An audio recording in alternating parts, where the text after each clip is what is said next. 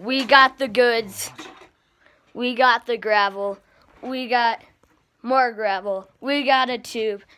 We got plants.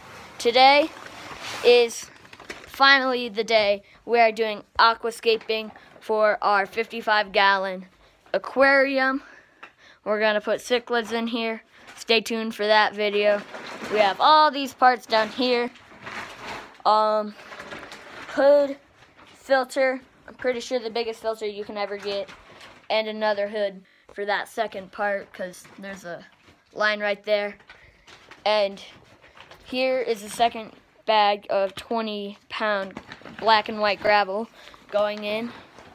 And then we're gonna add water, add plants, add our uh, our wood, the and yeah.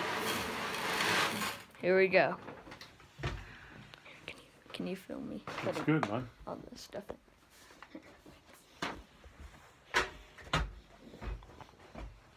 So you want it two to three inches uh, from the bottom if you don't have a gravel, like an under gravel filter.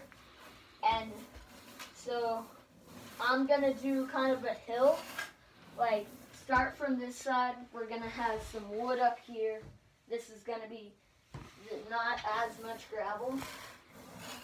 And yeah, then we're gonna add water, plants, filter,